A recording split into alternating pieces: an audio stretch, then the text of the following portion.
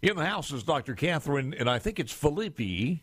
Uh, is that right, ma'am? It's Phillippi. Oh, I, I only had two ways to go, and I think I think we did this last time, and I, I got to remember that Phillippi. I, I, I have it now, uh, so it'll never be um, done incorrectly again. Boy, what a controversy on this uh, formula. Of all the things that they, I thought that we'd be talking about, toilet paper, whatever it happened to be, baby formula was not on the list there, but it is. And uh, your thoughts about this? So it does worry me when the statistics on brain development between ages zero and and one year mm-hmm. are um, that that is when most of our brain development occurs, and it's the most rapid time of brain growth. Um, formula is the statistics also show that babies that are three months of age, about half are, are using some formula, if not exclusively formula fed, and that babies that are at risk, born into lower socioeconomic situations, are almost um, staggeringly formula fed. So it affects that population. And if you think about the formula shortage started when Abbott had to recall um, their formula due to bacterial contamination in February and it's looking like they can restart production in two weeks from now, but they're not expecting that to hit the shelves for eight to 10 weeks. So then you have close to six months of that first year of life where extreme stress in a situation where gas is going up at the pump and parents are nervous. Um, and then also um, you know, stretching formula that they have. Um, yeah. We worry about babies getting formula that is not FDA approved. We worry mm-hmm. about parents supplementing with things like goat's milk, which is unsafe. Um, we worry about parents mixing the formula dilute dilute so that it stretches the formula to, to last longer. And um, those things can cause really really severe blood disorders um, and even seizures. At, at what age did you say that you could start weaning them off of the formula itself so safely? The, re- the recommendation is a year, but with these mm-hmm. formula shortages, there are some toddler formulas available that people will choose sometimes to switch um, a child to at a year of age. Yeah. Um, I would say at nine to 10 months, if you absolutely cannot get your hands on formula, I mm-hmm. might um, approve if the baby was very healthy the use of those toddler formulas yeah. at that time.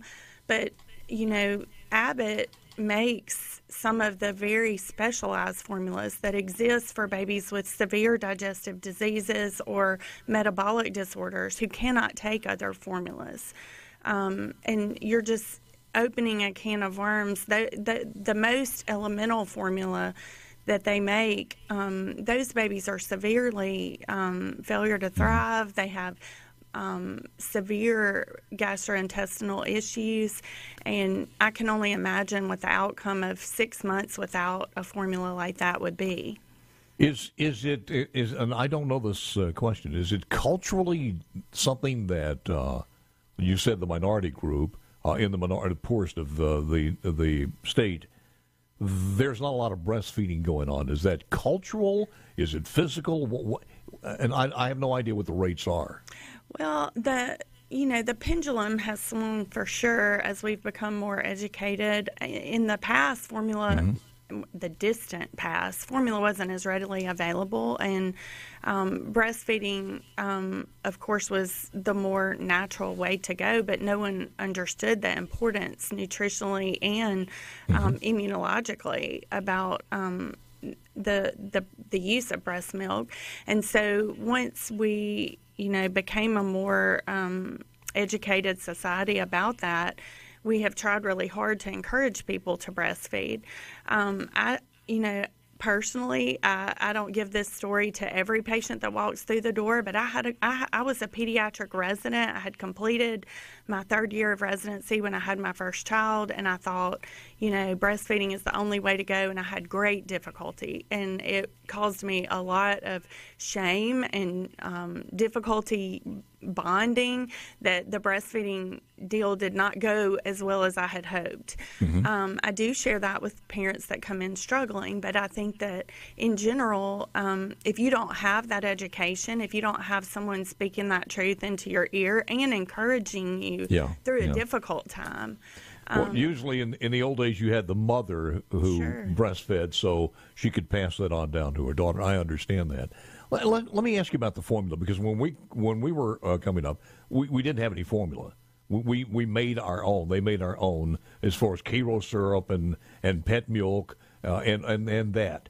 And I think a lot of people are getting back to that as we speak now. As a matter of fact, we had uh, renowned chef on yesterday, uh, Robert St. John, and he was giving a formula that he's actually pulled up. Uh, your thoughts on parents if they do this in the right way?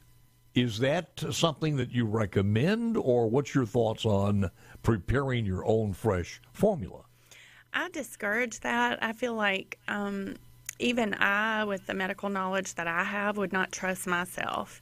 Mm-hmm. Babies are extremely fragile the first three months of life, and if you introduce um, bacteria or viruses through the production process, um, you know, we we also heard about um, an infant recently that got botulism from honey um, which you know I, ha- I still have grandparents that come yep. in and, and, recommend honey for constipation.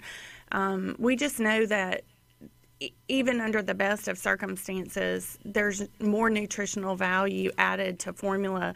It's there for a reason. It's controlled. Yep. It's safe. Um, so I would not recommend making your own. The um, the situation worsened itself because I think uh, uh Abbott was is Abbott the only one that supplies WIC, WIC. I'm not sure about that. The contract switches um, from from year to year, and yeah. I, I, believe that that's the truth. Um, but right now there are three um, major formula producers, mm-hmm. and you know it would be like if we had three major car makers, and one whole car maker was out of business, and yep. then we have the supply chain problem.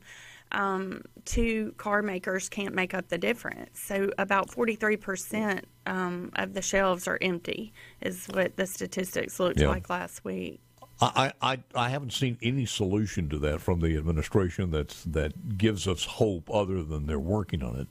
But when you send a large portion of your production, certainly now when you're trying to uh, get back on tap uh, as far as the supply chain is concerned, when you send a large a, a, part of your production to WIC, that means there's less and less on the shelves out there. And I think that contract is something they had uh, a mandate for, so they couldn't get out of it.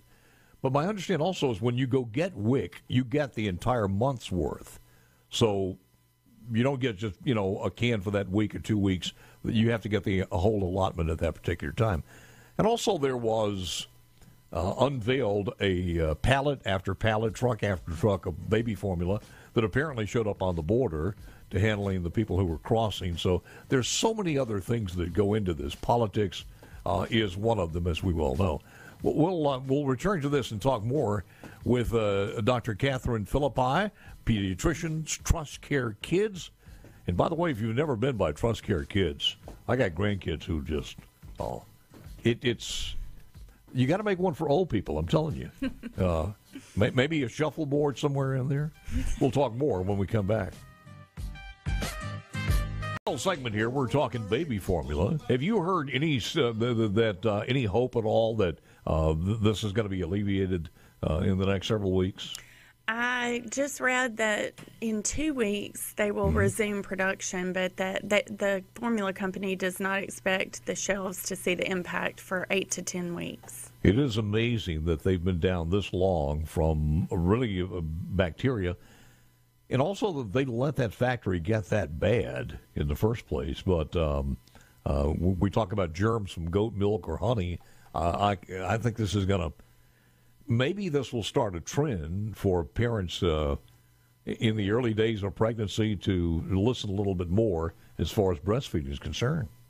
And definitely, I should mention there are breastfeeding banks for children who might be at risk or who parents who would be interested in donated breast milk.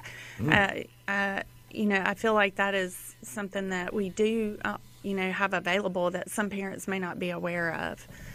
I didn't know that. Yeah.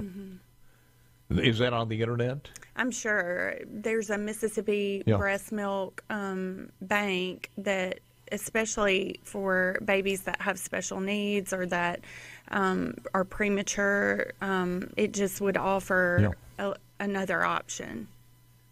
Um, it, it, it would be something to certainly uh, look into. Let's let's talk about the COVID for a moment or two. How's it look there as far as uh, some of the patients you're seeing? So definitely, the last two weeks we have seen a trickle of COVID. Um, We have done more swabs specifically to contact trace, and of course, infants that are staying with a grandparent during the day, and the grandparent has turned positive. I, I'm not hearing that um, the you know the initial contacts are very sick or in the hospital. And my husband is actually working in the hospital and he's not seeing you know a lot of patients mm-hmm. that have it yet. But of course we all have post-traumatic stress disorder Oh, absolutely. and we're panicking a little bit i am anxious to hear about um, the vaccine being released for a younger age group it looks like maybe june will be the target for that um, and we need that because, of course, you know, we, we don't have any options for treatment if they do get it. I have lost count on what this one is called. You know, we went we went to through several uh, different Sure. varieties, and this one is is got a number to it or something. Well, no, the Omicron variant is just still present, and we Is it? Yes, we Okay. are seeing it resurface. Um, obviously, it's probably mutated, but the patients we've had some providers that turned positive, um, both in my husband's world and in my Mm-hmm. world. And um, they've done really well because they've had three doses of immunization. When you look at the common cold, it is contagious, is it not? Oh, yes. How do they gauge this? Because this has been almost like a COVID cold as far as the symptoms. I'm not, I'm not going to going to try to make the, the symptoms worse than they are. Sometimes people just have a few sniffles, uh, maybe a little cough, and that's it. And they, they had no idea that they had uh, Omicron or uh, COVID. Right. But the symptoms are very very similar to just a common cold. Most definitely. And for me, you know, I I would fear that I would um, spread it to. I'm thinking of a set of twins that I take care of that are premature and have chronic lung disease, and you know, that mom is a working mom, and you know, she has to take her children places in the Yeah. world, whether it's the grocery store or daycare or whatever. And, you know, the common cold for them would be devastating if it's COVID. So, Well, and, and and that's one of the things I think the pandemic has done. Whether it's a common cold or the flu or whatever it is, I think we're going to be more health conscious when we're going to some of these places now, especially hospitals and uh, medical centers and things such as that. Your final thoughts here, as far as the uh, the formula situation that we're in, and your advice to mothers. well, I would just encourage the mothers that are struggling to reach out to their provider. I think that even um, in my practice, we have had patients that just walk in for an urgent care and then have questions about it. I think that um, if you don't have a provider that will reassure you and help you find resources, you need to find one that will, because we have to we have to join together and help get these families through this time. I think that lots and lots of money is spent on adults who are over 65, which is great in our country. Babies sometimes get forgotten because they're very resilient, which is one of the reasons I love taking Yeah. care of them. But this is this is a big deal, and for someone who was born during this formula shortage and doesn't have access to breast milk, you're looking at maybe six months of not getting nutritionally superior um, food. That is scary, absolutely scary. Well, Doc, thank you so very, very much. I always appreciate it, and I think we need more. We know more now than we did before. But again, uh, there's so much on the internet, and some of it, uh, you got to be careful. you, you just got to be careful from the formulas too, because I've seen some of that, and uh, uh, I don't think you meet. I don't think Budweiser's part of that, even if the kid's a little cranky. So right. be careful. Doc, thank you, ma'am. Appreciate Thanks. it very much. Uh, that is Dr. Catherine Phillippi, a pediatrician, TrustCare Kids, and you can find more information at uh, TrustCare Health uh, on uh, Twitter.